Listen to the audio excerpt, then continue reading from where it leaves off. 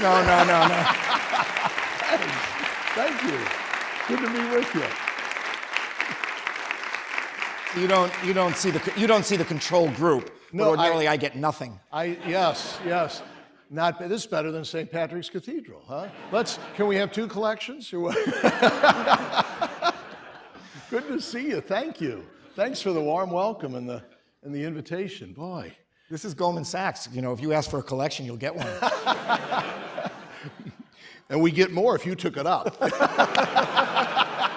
We're on a roll, folks, Oh, yeah, already. Yeah. I don't know. What you offer may be better than what I offer. I, I use salvation as a very informal term. but uh, Your Eminence, uh, thank you so much for coming today. This is, uh, you know, we get a lot of notable visitors here, but nobody was more uh, anxiously awaited or enthusiastically received uh, than you today. You're terrific Thank you. Uh, for coming and joining us. Is You that right? made me feel welcome, Lloyd. Thank you. Thank you.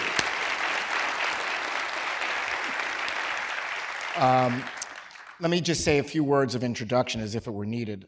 The, um, His Eminence was ordained to priesthood in 1976. Since two, these are just the fun facts. Since 2009, Archbishop of New York, the largest Catholic archdiocese in the U.S. What a promotion that must have been. That's how I think of it. Um, appointed by Pope Benedict um, uh, to the College of Cardinals in uh, 2012 and three years as president of the U.S. Conference uh, for Catholic Bishops. And later, I might ask you what all these different, because obviously, um, New York City, America, and the cons- bishops, and then of course your obligations uh, to Rome. Seven years as Archbishop of Milwaukee, a fine city, not You're New telling York, me. not New York.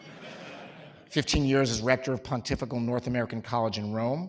Nine books on religion and leadership, and the person who gave the keynote at the UJA where I met you and invited See, you to come here. Uh, that's where that's where Lloyd and I met one another. He was uh, he was uh, receiving the honor from the UJA, the United Jewish Appeal, and they were kind enough to ask me to come and speak. So that's where my admiration for for Lloyd began, and that's when he said, "Would you be willing to come?" And I said, "Would I ever?" So thank Covering you. all Thanks for taking me up on it. Yeah. So, um, uh, Cardinal Dolan, why don't you? I mean, I'm just here to facilitate. People want to hear you.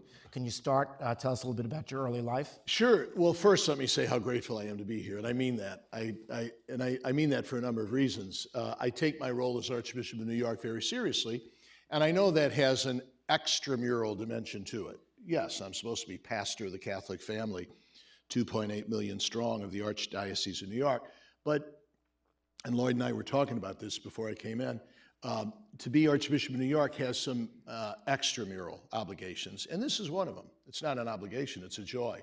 But to get to know the different leaders, uh, to get to know the movers and shakers, to keep in touch with the business community, the political community, the communications community, the wider ecumenical community, the international community. So for me to be able to uh, speak to a distinguished group like this, I appreciate it very much. So thank you for your invitation, your warm welcome. I asked if this were like a, an assembly in high school where you're happy because you get off an hour earlier or something. But, so, and I know, Lloyd, I hear we're on, there's other people watching us here in Yes. the building and even throughout the world. huh? Say, say cheese. Uh, there you are. Okay. Way to go. So, no, look, I was born, I'm a St. Louisan. I'm a St. Louisan. I was born in 1950, and I'm the oldest of five. And I say that, Lloyd, with it. Whenever people say, How should we introduce you? I said, Would you start by saying Timothy Dolan is the oldest of five children born to Robert and Shirley Dolan? Because my parents were tremendous. They loved each other. My dad dropped out at 51, and at the um, at the wake, so many people came up to me. I'd only been ordained a priest a couple months. I was 26, and uh, so many people said, "You know, your mom and dad were still like teenagers in love." So to grow up in a happy, united family, not that we didn't have challenges and difficulties, but that's, I think, the greatest natural blessing that anybody could have, and I had that. I had that, Lloyd. I grew up in kind of what you'd call a Catholic ghetto.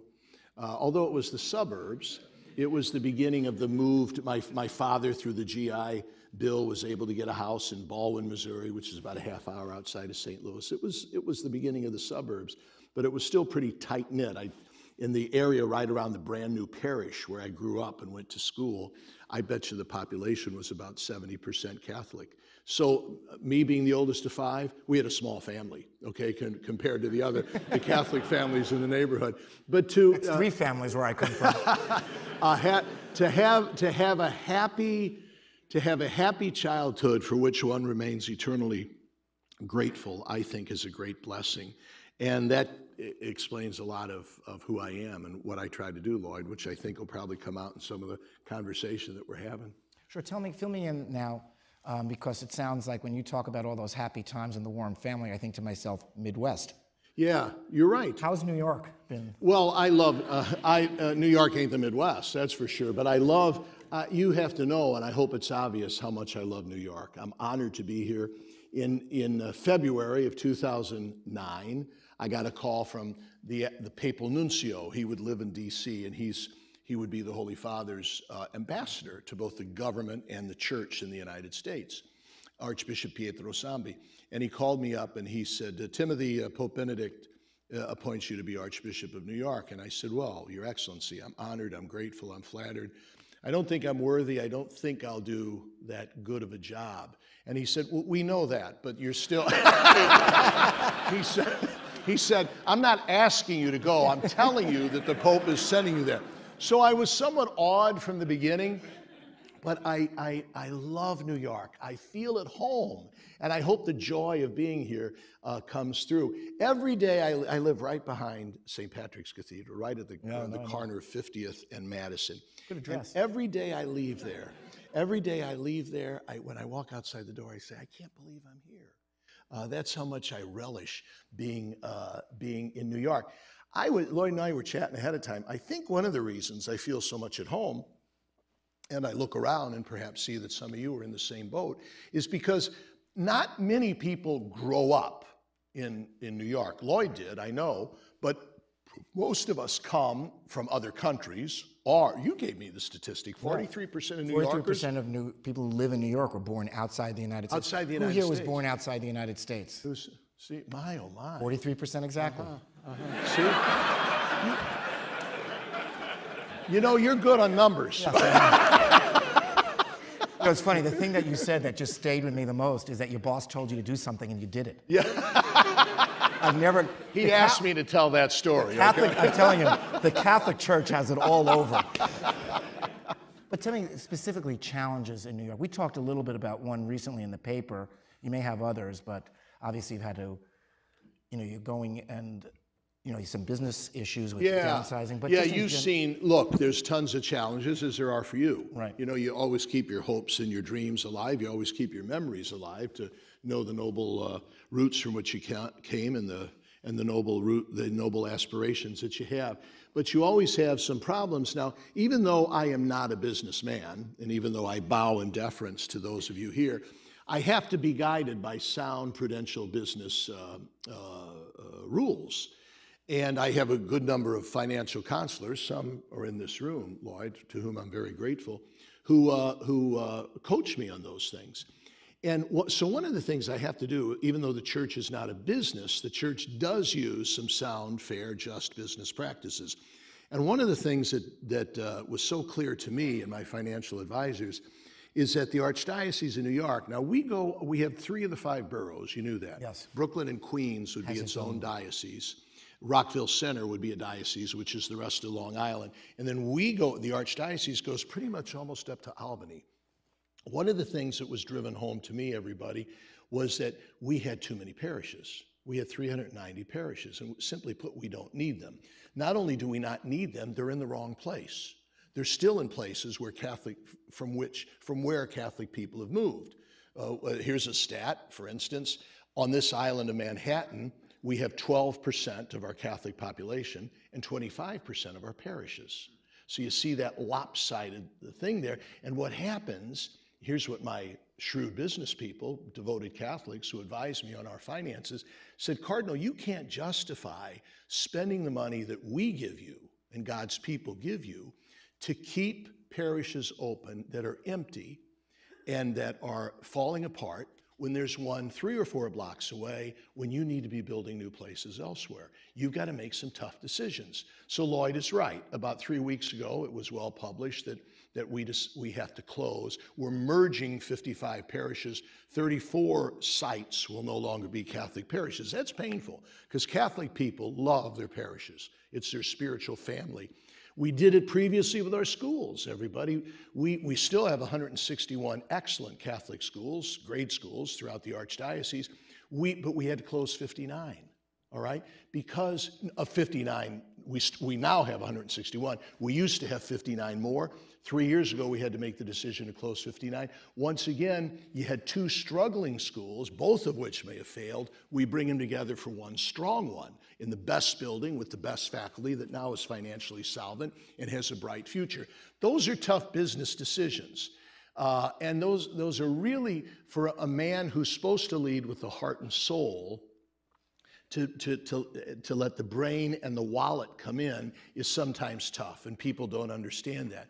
But in the long run, I trust it'll work out well. And one of the things that helped us, as you business people would know, if, the, if your investors, that's what, you, that's what I would call my people, my parishioners, you'd call them your investors, your stockholders, whatever. If they feel part of the process and if they've been consulted and listened to, it's a little easier. It's still going to be neuralgic to accept it, but at least they'll say, well, we're not surprised. We've been through two years of consultation and discussion. I understand his reasons. I might not agree with this precise decision, but in general, the direction of the, of the church seems to be going okay, especially then when you're able to invest more. The money that you were pouring into that, you're able to use elsewhere. Can I tell them the statistic? Please. Last 10 years, everybody, just the last 10 years, the Archdiocese of New York has spent $392 million to prop up struggling schools and parishes. that's a lot of money. Think of what we could have spent that on. Now we've got fewer parishes and fewer schools that are better, still available to everybody.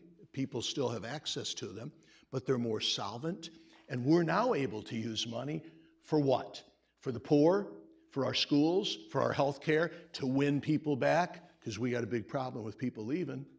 Look, it's embarrassing for me to say that, but you know the stats. A lot of our people are leaving. They don't. They no longer consider themselves as faithful Catholics as perhaps their parents and grandparents. Problem not just for Catholics, but for every organized religion. We got to win them back. Okay, we got to do some some renewal and reform to get them back. We'll now have the resources to do that better because we're no longer subsidizing museums, places that are empty. Uh, we're about the living. Uh, remember the angels, those of you who are who are, are, Christians remember Easter morning when the women went to anoint the body of Jesus and the angel said, What are you looking for the living among the dead for? Okay, we're about the living, all right? We're about the, the present and the future. We cherish the past, it guides us, but we're not handcuffed to it. So tough decisions, but I hope they were right. When we talk about change, that's a good segue into um, certain changes in demography and the diversity. Mm-hmm. Um, I'd say diversity everywhere but also, I would say that, that they have a tailwind in the diversity department because you're going from Milwaukee to New York, which is, mm-hmm. as we've discussed, is the most diverse city in the country. How is that? How does that feel uh, in terms of texture to you and your role? And how is the church responding to those those issues? Because I think it also relates to um, uh, being uh, to being a magnet for uh, uh, you know being a magnet for parishioners who otherwise you know yeah. are ambivalent. Yeah.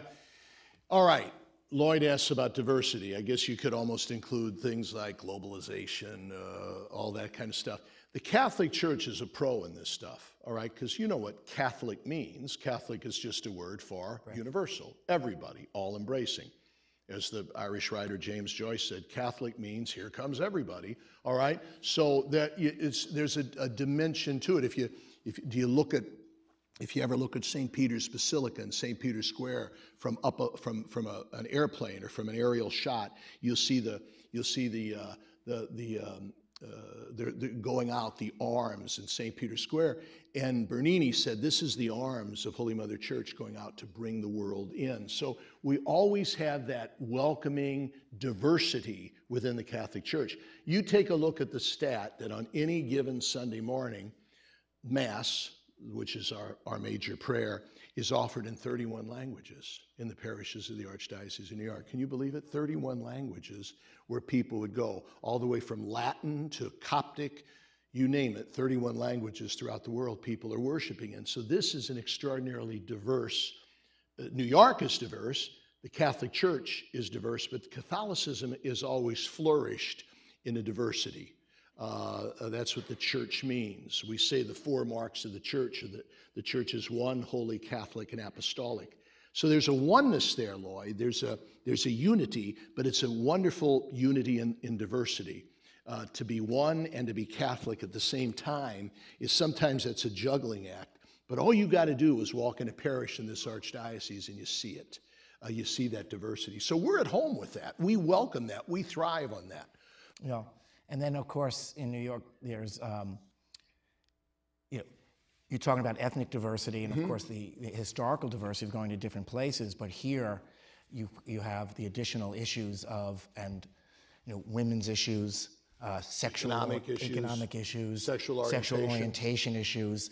And it adds a complexity because some of this stuff um, goes right into and confronts doctrine Yes, it does. and it creates a lot of uh, a lot of dissonance, and it must be issues. And I know because I watched very closely um, the meetings and the and the pronouncements that were coming out of Rome and out of the Pope and the response to it, and people are left with a feeling. It just felt that the window was open a bit for a certain kind of change. Far be it from me or anyone else to say what that might be. Sure. But I'd say the response was, and what we've all read, is that it just feels a little bit uh, draftier than it had been.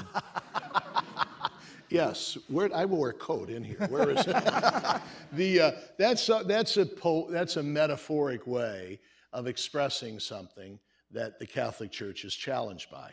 We are one, okay, we're the same, but we're many. And how to get how to keep that that oneness and that diversity in a beautiful choreography can sometimes be a challenge. The metaphor is the open window. Pope Francis tries to, to open the window. So that's good, and that you get some fresh air in. You're allowed to kind of take a deep breath, to rethink things. There's a, there's a freshness, there's a vitality. You don't want such a wind to come in that it destroys the house, right? And that, that you have to that you have to move or you have to build a new house. So to try to get a breeze without a tornado is sometimes is sometimes difficult. We always have as Catholics, and by the way, the same is true for uh, for uh, our Jewish neighbors. The same is true of our other Christian neighbors. The same is true, by the way, with our Islamic neighbors. We always have uh, because we're all what are called revealed religions. You know what that means? We dare Jews, Christians, and Muslims, we dare to believe that God has told us about himself. We call that revelation. We believe that God has told us about ourselves too, the way he wants us to live. Now, those revealed religions, and Catholicism would be one, are very reluctant to tamper with what God has revealed. We can adapt it. We can try to understand it in a fresher way. We can try to present it in a more colorful, cogent, compelling way through the as the decades go on. But we never feel free to tamper with the essentials, with what we believe God has revealed. Now, there's an ongoing dialogue about, well, is this part of the essence? Is this part of the substance? Is this part of the, we Catholics use the phrase deposit of faith? I thought you'd like that word deposit. We like, we like sticky deposits. and so, how, how can we protect the integrity of the deposit of faith, which we believe comes to us from God the Father through his Son Jesus, protected and handed on by the church? Latin word for handed on is traditio, that's where you get the word tradition. Important word for Jews as well, tradition. How can we how can we protect the integrity of the deposit of faith while still making it fresh and compelling for the people around us? That's a biggie, folks. And Lloyd was referring to what you might call one of the more recent examples of that in the Synod in Rome. We're encouraged by this remarkable pope that we had who said to us to his brother bishops there were 185 of us there fellas no holds barred you can bring up anything you want well some of the things that came up were somewhat controversial and uh, what? well like the the uh, let's move on to that next step. like, uh, like for instance, what were the ones that got a lot of attention? Uh, we uh, Catholics, like Jews, like other uh, Christians, believe in the indissolubility of marriage. Okay, and for a Catholic, uh, once you're married, you're always married. Now there is something called, as you know, a dec- decree of nullity if it can be shown uh, with, with evidence that something of the essence of that married, marital bond was uh, missing, that, you, that that could be declared null and you could enter another one. But to do that without a declaration of nullity, we believe violates the, te- the specific teaching of the Bible and the specific teaching of Jesus. As much as we'd like to change it, as much as we'd say, boy, I wish the Lord wasn't so strict, we feel compelled by it. Ergo, uh, if you do that, then you're not allowed into Holy Communion because Holy Communion, which is the highest act of devotion that we have, the closest way to be in union with the divine here on earth for a Catholic, communion means you are in communion with the Catholic family. If you're in that state, you no longer are. That's a, that can be a heavy burden, Lloyd, for people unable to live, uh, live up to that and they feel excluded. They feel it's, it's very difficult, and that we've got some wonderful people who find themselves in that situation. So the Holy Father let us talk about that. Is there some way? Is there some way that we could reach out to these people? Is there some way that perhaps we could mitigate that? Is there some way that, that we could re explain or that teaching? Tough one. The other controversial one would be on, uh, on uh, uh, people with same sex attraction. What, so obviously, it's, it's the b- belief of Catholics, again revealed by God in the Bible, that sexual intimacy is, is limited uh, to that between a man and a woman united in lifelong, faithful, loving, life giving marriage. Uh, and so we feel obliged by that. We feel we must obey that.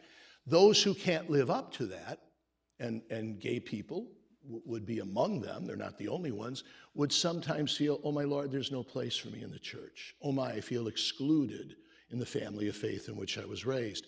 How to maintain the integrity of the faith without hurting or driving people away is a real pastoral challenge. And I don't admit, I don't claim to have all the answers. I think even Pope Francis shrugs and say, I don't have all the answers. We got to be faithful in the clear teaching of the church. We also have to be faithful to the compassion that God has revealed, especially in the person of, of his son Jesus. And how do we balance that? Something tells me you parents face the same thing with your kids.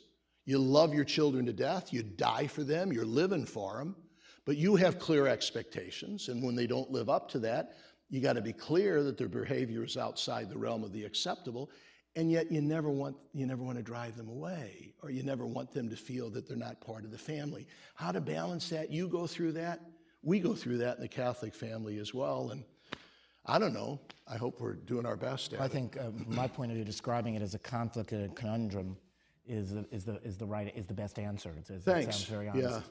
And, uh, sometimes questions are important as important as answers you know and um, other issues have evolved. yeah yeah thanks for bringing it up though You know, uh, let me ask you.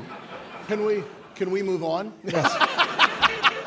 Let me ask you another, because I'd like to. Everyone's fascinated. First of all, you're, you can tell you're loved and admired in the city. Well, thank you. Do that. I, you know, you hear that, and um, mostly you hear.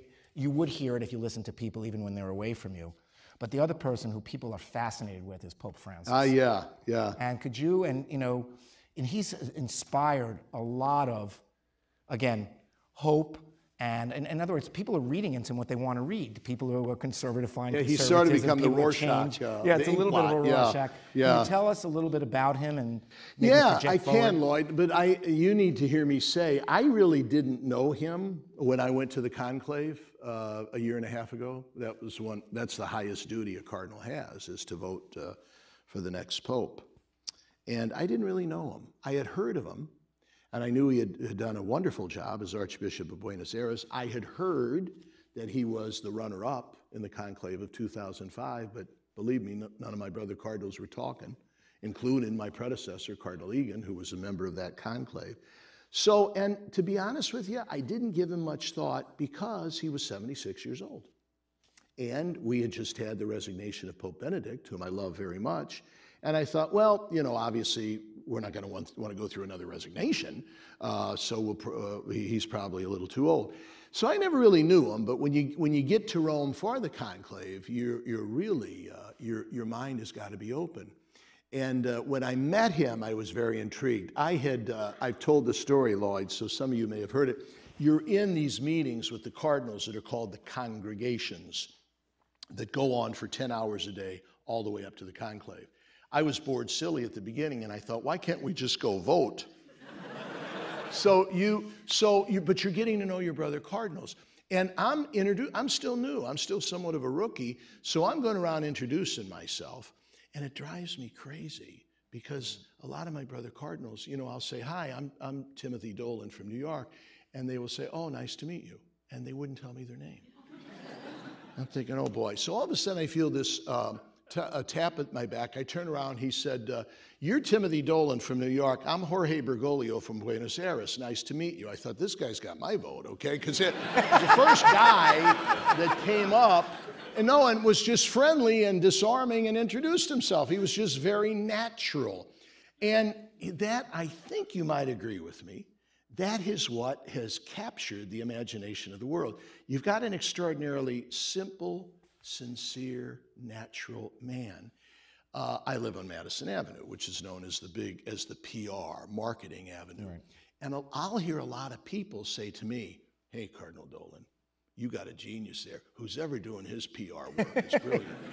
Nobody is, okay? He is just very natural. He's very simple. He's very sincere. What you see is what you get. He doesn't kind of sit around concocting things. For him, the day after his con- that, that he was elected, remember when he went to pay his hotel room? He, nobody told him, hey, you know what would make a big impact? The news will love this. He just thought, oh, I owe those people money. Uh, let's uh, call me a cab and let me go over and settle up my, my bill and pick up my luggage. This is the kind of just, I hate to use these bromides, but these, uh, this is the, an unassuming, simple man. This, I just got back from the synod. And here we pull, we American bishops, we have a little van to bring us over. So here our van is pulling up to the Synod Hall. All the press is out there. All the other cardinals are arriving in their cars. And I, we American bishops look out, and walking by himself from the Domus Santa Marta, carrying his briefcase, is the Pope, all by himself. He didn't orchestrate that. That's just the way he is. I'm surprised he didn't have a brown lunch bag, okay? But he's just extraordinarily warm and gracious and human. And he's, he, I think he disarms us, doesn't he? And I'd like to think uh, he brings out the best in us. He doesn't feel he needs to impress us. He doesn't really feel that he needs to win any arguments. He just wants to be wants to be himself, and he believes, like we we do, that we we have the spark of the divine within, and if we let that spark shine, that light shine, people are going to be attracted. And I think that's what we got. Isn't amazing that people always know when other people are authentic? I think yes. You know who can tell that? Most of your kids, can't they? Kids can tell if you're uncomfortable, or if your dogs can too. I hear, but kids can tell. Kids can tell if you're if you're scared or trying to put on, or if you're nervous. He just he's remarkable. Now, when you get together, I'm sorry, this is really off the track, but I'm just it's fascinating, and we're all historians here to some extent because everybody follows. When you get together with your fellow cardinals, have you not seen them as a group since the last time the Pope was made, or you get together for Well, I- strategy sessions, or Yeah, the main the um, the the main time I have a poker club of cardinals. No, the the uh, no the yes we would see cardinals by our nature. We are appointed to a number of what we call congregations in Rome, which would be the Holy Sees, the Vatican's uh, version of cabinets. You'd Like So you get like called in So we'd be called over, and you'd always work. There'd always be eight or ten cardinals on that, so you'd get to know them. We would uh, come together for special events in Rome. The synod that, to which you referred would, would just be one. When other cardinals are made, maybe a big celebration. Remember the one right after Easter when Pope Francis canonized, made saints of Pope John Paul II and Pope John Paul the 23rd. We'd all be there. You get to know one another. Now, an advantage in New York, they all come through here sooner Right, of course. Okay, so they all got napkin rings at my house. Right. So I, I really have a chance to get to know them because they would naturally come once again because of the ethnic diversity that you spoke about earlier. So the Filipino people are inviting Cardinal Tagle. Uh, the the uh, the Mexican people will invite uh, uh, the the Archbishop of Mexico City, and they, of course, when they would come, they'd let me know. They'd say, "I've been invited. Do you mind?" I say, "Not only do I not mind, I want you to come, and I want you to stay with me." So I'd get to know a lot of them that way. I'd ha- I'd have a little leg up on knowing them pretty well. At the beginning, though, boy, I, f- I really felt like I didn't know them that well, and now now it's a little better. Uh, I'm I'm much more comfortable, and I think I know a lot of them. And of course, you have one of the most high-profile positions. Has to be. Yeah, yeah, and they would all know. They would all know of New York. Um, so yeah, but I try my best to get to know And them. the head of the Council of Archbishops and. Yeah, the head of the of the United States Conference of Catholic Bishops, you, you'd get to know them. Look, as you would know, and this was the main thing I had to deal with when I was president of the United States Conference of Catholic Bishops. Didn't ask for it, but it just happened to come.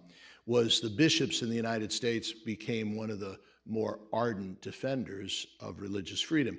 We were quick to point out we weren't doing that as Catholics, we were doing that as Americans that we would find uh, that uh, the, the freedom of religion happens to be our first and most cherished freedom.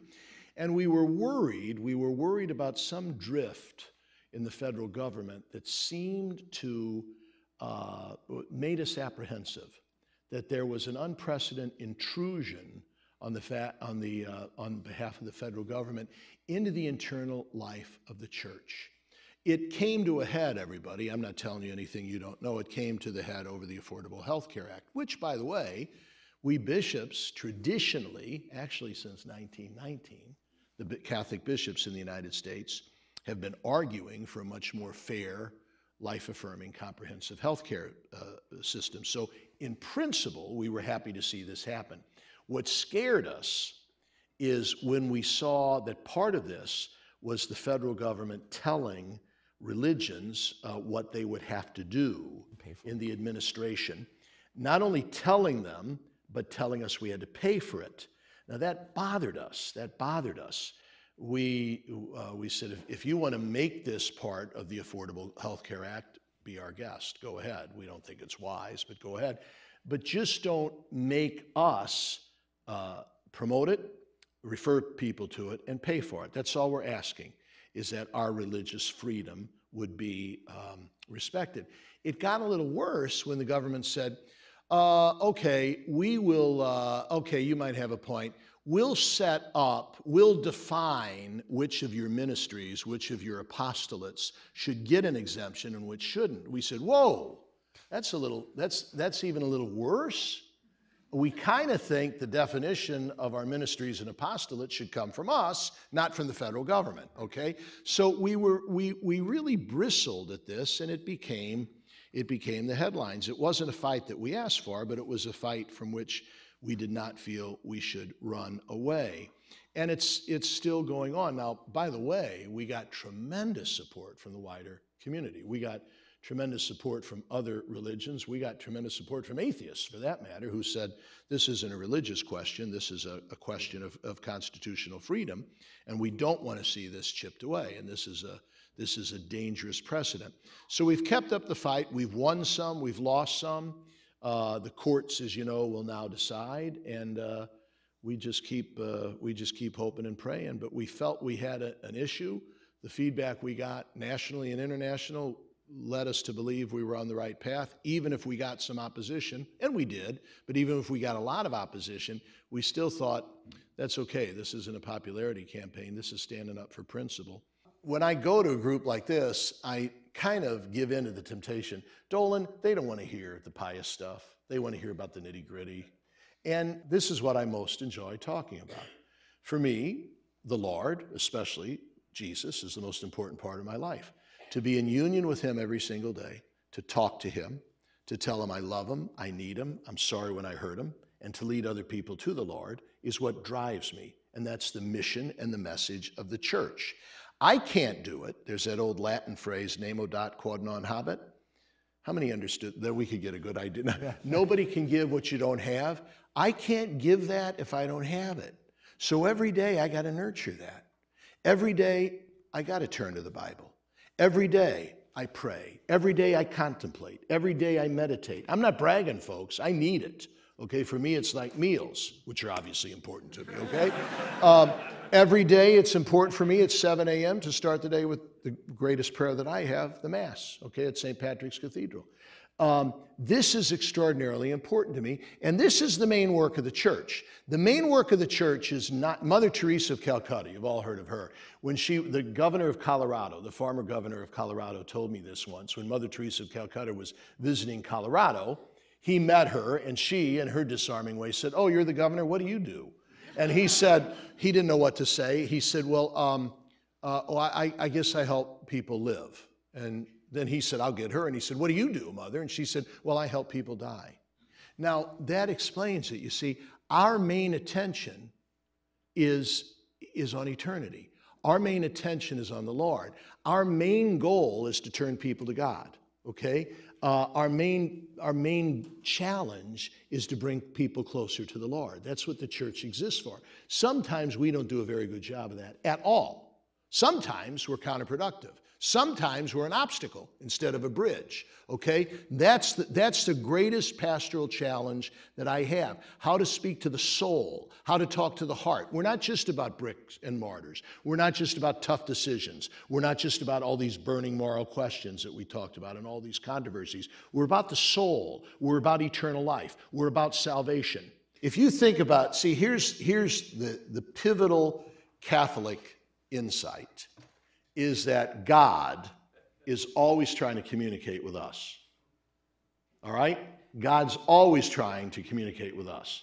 He, he was so serious about it that he became one of us. That's what we call the incarnation. That's what Christmas is all about the birth of the only begotten Son of God. That, folks, when you think about it, is communications. All right? The best, so the church is big time how to communicate better. In this day and age, that means technology. This is what we got to get into. This is what, when I got here five and a half years ago, I commissioned Bishop Dennis Sullivan, who was one of my uh, helping bishops. I said, Dennis, I want you to go on the road. And I want you to have town meetings all over the place. And I want you to listen to God's people and what they want from the church. By the way, that was the first step of the parish planning that just blossomed in the, uh, on the painful closings of some of our parishes. And he came back when he, after like a year on the road, and he listed the priorities of what we heard from our 2.8 million Catholics. And right near the top was the church has to get savvy about communications and technology. The parents would say, Our kids don't read that paper. Our kids don't watch or don't listen to advertisements on the radio. You got to get with it when it comes to communication. So we're trying. We have a whole new office on, uh, on communications and technology. You know better than I do. You just think you're there, and the next day you realize you're behind already. So Great Grace book. there, yeah, not bad. I like that. I like that. Uh huh. Boy, this guy, he. Uh, uh-huh. We're going to see the white smoke going up. Uh, Cardinal, Cardinal Dolan, you've been terrific. Is it? Oh my gosh! Is it? No, I'm conscious of your. Listen, we're not going anywhere. But Hey, I know, think- I but, think in um, terms of we were told you have to be up at the UN at. Uh, I'm going to. There's a beautiful exhibit at the UN on Saint Francis of Assisi, and they asked me to go to be there, and I'm looking forward to it. But I sure have uh, enjoyed this. You have no more appreciative audience than this. Well, I so if you wanted to be that. late over there and just sit here I for a can while, see we'd love that. What I'm, what I'm really disappointed, I got another engagement because I was going to ask you to take me out for a drink and dinner, but I do that. you, you could take it off on your taxes. You? By the way, I go all around. How come I never see you? Where do you go, where do you go for dinner? Where do I go for What's your dinner? restaurant? You've seen me. No, I'm the guy in the ski mask. At the Oh yeah. Oh, oh God. Oh, it's good. Will you invite me back? Oh gosh, Way we to will. go. Good. Thanks. Thank you very much. Boy, thanks.